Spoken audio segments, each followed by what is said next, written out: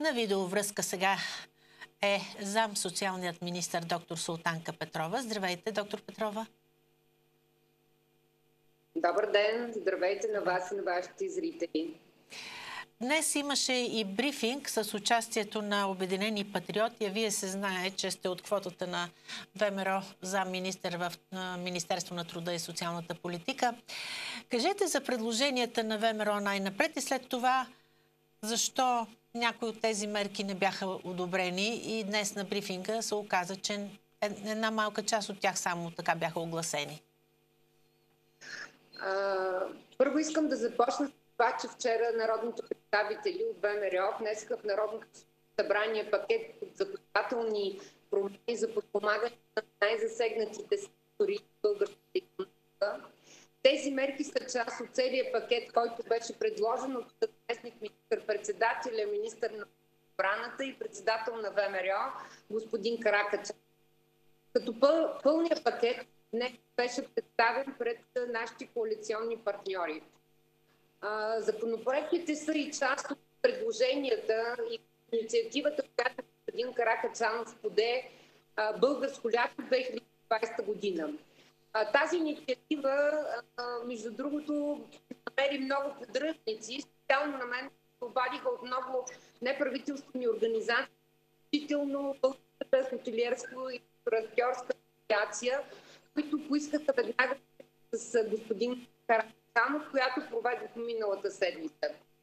Целта на тази инициатива е да даде възможност на народници да получат добър, привлекателен пакет за почивка в родината, като по този начин да насърчим ползването на продукти, дадени от за българи. Тоест, инициативата на ВМРО е да будим българското в българите.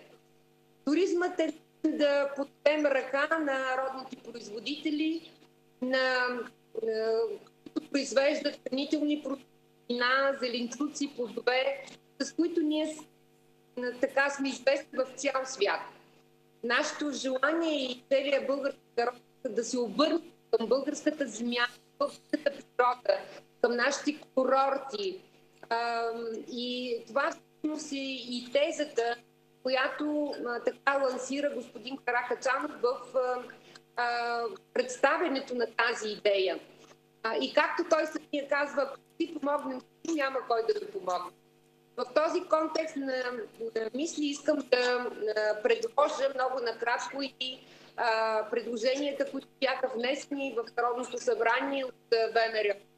А, в секторен подход и специална политика за туристическия бранш. Възможност за разсрочване и мораториум кредити до октомври 2021 година. Знаете колко много е важна тази подкрепа.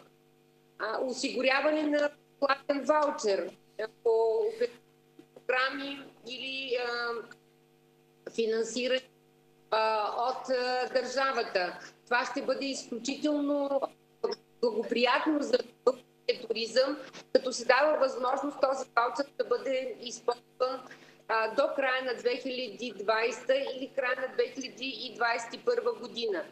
А, също могат да бъдат да се използват в хотели, в туристически агенции или в ресторанти. А, масираната кампания Българско лято за насочване на народниците ни а, и граждане на съседни страни към родни курорти и спасяване на туристическия сезон, защото знаете, че голяма част от брутния вътрешен продукт от 12% всъщност се дължи на туризма. А, имаше предложение държавата да поеме и 30% от стоеността на стартърните полети. А, премахване на визите таксите за туристи от Русия.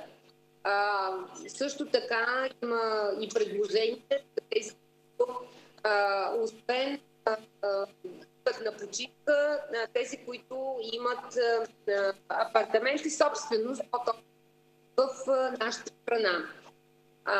Едно от много важните предложения беше на ДДС в година на 5% до края на година. Както виждате, тези предложения наистина са много коментирани. Те днес някои от тези предложения вече са постигнати споразумения. А, както казахте, има а, някои, които а, не са приети, но в и това, което поне аз разбрах от мен, защото следя много а, всичко, каквото се случва в а, коалиционния съвет, бих искала да кажа, беше отразено това, че тези преговори ще продължат и пред следващата седмица. Така че нищо не е загубено. Предполагам, че ще стояват тези предложения, които са направени. Да. Сега, а, днес... Са направени. А, не се чуваме много добре. Аз не зная защо. Когато направихме контакт, в началото беше хубава връзката, но сега стана малко а, така накъсана на моменти. А, дали... Ами, може би, да. Дали не е нещо във вашия микрофон? Ами, не мога което, да кажа. Което да се коригира. Добре. Нищо, аз ще ви задавам въпроси. Надявам се, че а, зрителите ще разберат а, вашите отговори в голямата си част. Сега появиха се различни а, изследвания а, за съкратени хора. А, освен това има и доста, доста майки, които не могат да работят, защото детските градини не са отворени. А пак вице-премьера Томислав Тончев каза днес, че това за сега не се знае кога ще се случи. Как стои въпроса с тези семейства, които трябва да седят да. вкъщи, за Друг... да си гледат децата? А, между другото, сте права, но аз мисля, че Министерството на труда и социалната политика предлага а, разширяване а, на мярката, която беше а, предложена еднократна помощ от 375 лева а, за родители, които отглеждат деца до 14 години. Този, тоест тази мярка да бъде насочена към лица, които са загубили своята работа, а, които ползват в момента неплатен отпуск а, и включително тук ще бъдат включени самотните родители. А същевременно с това се предлага още 30 дни неплатен отпуск да може да се зачита за трудов и осигурителен стаж. До средата на месец юни ще продължи и социалния патронаж, за който говорихме с вас. А, отделени са над 45 милиона лева а, по оперативна програма развитие на човешките ресурси. А, ние продължаваме отсърно да работим, като нашата цел е да се подпомогнат и хора, които имат нужда. А, важното е Важното е, според мен, в момента а, ние да работим заедно, да работим единно, да бъдем солидарни, защото виждате, че в тази тежка и трудна ситуация а, имаме нужда от тази солидарност, имаме нужда от толерантност и най-вече, според мен, ние сме изправени пред едно ново възраждане на България, защото това, което беше преди а, извънредната ситуация и това, което ще се развие от тук нататък с оплапване на извънредната ситуация, мисля, че ще бъде много различна и ние трябва да ползваме максимално а, своите усилия, своите компетентности, своята отговорност, така че да можем да а, направим България нашия дом, нашето добро място, в което да живеем с отговорност и към бъдещите поколения. А, и сега накрая да ви попитам на това включване, защото ние с вас ще правиме по-често включвания, но сега по най-актуалните новини говорим. Стана ясно, че има проблеми в някои старчески домове, така да се каже, грубо, социалните домове за възрастни хора. Даже прокуратурата се намеси днес, доколкото разбрах. Какво е положението? Имате ли информация с тези социални домове за стари хора? Тъй като в Франция ние говорихме там с една медицинска сестра, която българка, която работи в старчески дом и тя каза, че наистина е ужасно. Когато влезе коронавирус вътре, направо всички хора си заминават, които са в тези домове за възрастни хора. Има 2000 струва ми се починали а, само в старчески домове във Франция – А, при нас ами, как се взимат тези мерки? Какво се прави? Ами, е, Министерството и социалната политика, заедно с регионалните здравни инспекции и Министерството на здравеопазването, предприеха веднага мерки след обявяване на извънредната ситуация. Агенцията за социално подпомагане направи предписания, издаде, издадаха се заповеди.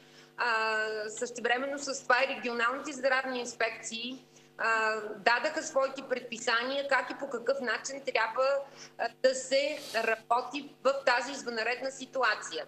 А, това е голям проблем, защото по-голямата част от тези възрастни хора са с различна степен на обреждане, имат и хронични заболявания. И както знаете, и статистиката показва, че по-голяма част от хората, които а, така завършват а, с а, смърт, всъщност са точно тези хора, които имат предрушаващи или хронични заболявания години наред. Така че ние имаме своята голяма отговорност. Както виждате, от една седмица се правят изследвания на всички работници в домове. Същевременно се правят изследвания на и социални работници, изследват се и настанените в социалните услуги. Това, което трябва ние да направим и което зависи от нас, се стараем максимално да го изпълняваме. И тук искам да добавя и това, че още в началото, след обявяването на извънредната ситуация, Министерството на труда политика се погрижи и осигури защитни предпазни средства за всички специални работници и разбира се за хората, които се грижат в социалните услуги. Според мен трябва това да бъде една много голяма отговорност, но както на Министерството на труда и социалната политика, мисля, че контакта, добрата комуникация и координация в действията, които трябва да се извършват на местно ниво, зависи и от местните групи, от общината, от регионалните здравни инспекции, от всички, които са отговорни за действията и разбира се изпълнението на всички предписания, които са дадени от националните органи. Добре, доктор Петрова, благодаря за вашето отделено време днес. Я, благодаря. Желая ви а, лека работа и бъдете здрави, вие и всички ваши зрители. И вие също бъдете здрава. Благодаря.